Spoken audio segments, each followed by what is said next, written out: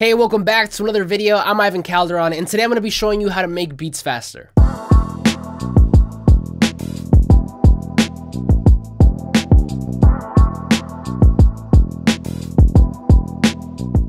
So today we're talking about something that has made a world of a difference to my workflow when making beats and when creating music in general, and that is templates. Templates are easy to brush over because they're not as exciting as say new mixing techniques or new sounds, but the irony is that having things like new techniques or new sounds means nothing if you can't use them effectively and maximize your studio productivity. I started using templates a few years back and primarily because I wanted to reduce the amount of obstacles, the friction between a musical idea and a finished product. See, we use technology every day to create our music, but we all know too well that it could also get in the way. I don't know about you, but when I'm feeling super inspired, the last thing that I want to do is be tweaking parameters, finding the right plugins, or setting up proper bus routing. Personally, I would much rather get straight to work by laying down my idea before I lose it, and then come back later to tweak things if need be. Now, things will never go 100% as planned, but what I have found is that having something like a template does in fact help in reducing a lot of these musical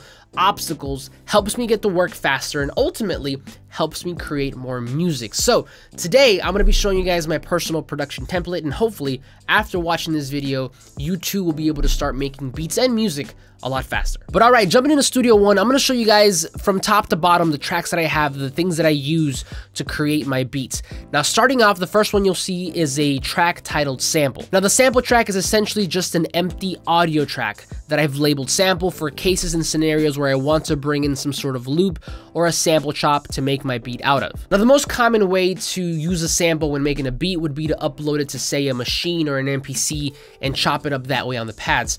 Personally, for me, however, I'm more of a visual person. I have to see it in front of me, so that is exactly why I do things this way. So essentially, if I ever want to work with a sample, then all I do is just drag and drop that audio file into this empty sample track, and inside Studio One is where I do all of my cuts and my edits. Moving down, we have our first two MIDI instruments. The first one is Scaler. I've talked about Scaler so much, I feel like now, but it is literally one of my favorite um, I guess plugins, VSTs that I've purchased in the past 6 to 12 months. I don't make a beat without it. If you want to see the full review of this, I'm to link it up top here. But essentially that sits here, and I'll show you guys how I use that in a minute. And then below it, I have a piano, a grand piano from Nexus. Now, the reason that I have a piano as my first MIDI instrument, my first VST, is that as opposed to something like a synth, a piano lets me hear chords a lot clearer and helps me create chord progressions a lot easier. Now, because this is MIDI, at the end of the day, if I don't want to keep that piano part, I can always just take that MIDI pattern and put it into a different instrument and kind of continue layering that way. But at least for me, every time that I start a beat, I always, always start with a piano. Now, in the cases that I get stuck and I just don't know what to play, that's when Scaler comes in. And I really, really love the, I guess, synergy between these two plugins because essentially what I do is I use the sound of whatever VST I'm using, so in this case, Nexus, and I route that or import that into Scaler. So let me show you how that works. If I bring up Scaler and I press a key on my keyboard, you hear the sound from Nexus, but you also get the information, all the benefits from Scaler. So again, that's a B, that's a G major chord, that's an A minor, and this way I can use both of them to kind of create progressions and create chords if I ever get stuck. Now I love Scaler, but at the end of the day, their native sounds are not that good. So if I were to mute my piano, my uh, Nexus, and I bring in the native sound from, from Scaler, this is it. It's not bad, but it's very, very tinny. Nothing like a Nexus or nothing like a, say, a Keyscape. And on top of that, if you ever want to bring in another instrument that's not a piano, maybe like a synth or something like that, you can route it this way and always be able to know what notes or what chords you're playing. Now, the way to do this, if you want to do it with your own VSTs, is simply bring in Scaler, load it up there. What you want to do is first turn off the native sound, and that's by pressing this little uh, speaker button, top right. So you click on that, then what you want to do is bring in your VST of choice. So again, for me, this would be Nexus. And then from there, what you want is under where it says inputs, it'll say none at first, but you want to go ahead and select your Scaler. So once you select Scaler, then what you want to do is make sure that the speaker on both is turned on. So right now only Scaler is turned on.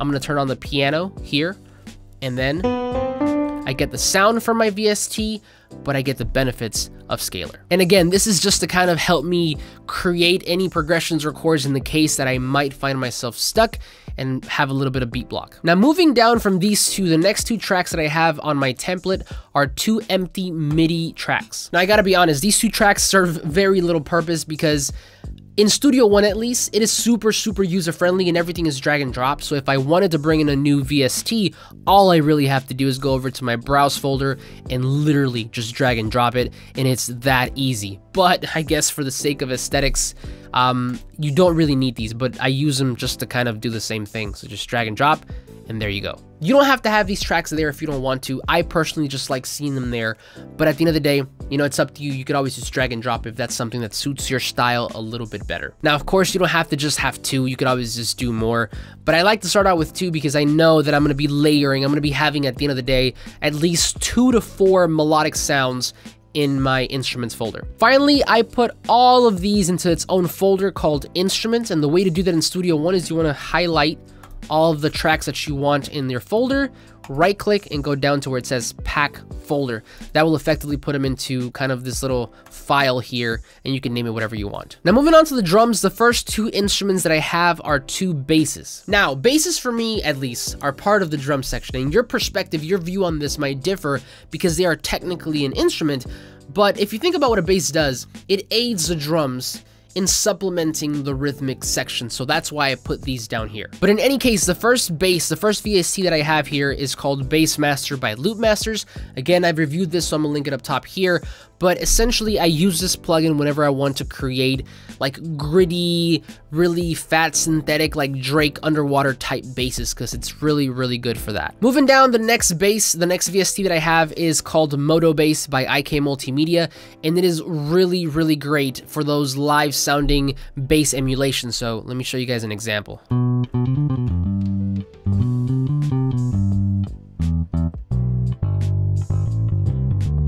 Now, aside from it sounding really, really good, the other reason why I love this plugin so much is because of all the parameters you get to tweak. So if you look in the middle, for example, I can tell it where I want to pick the notes.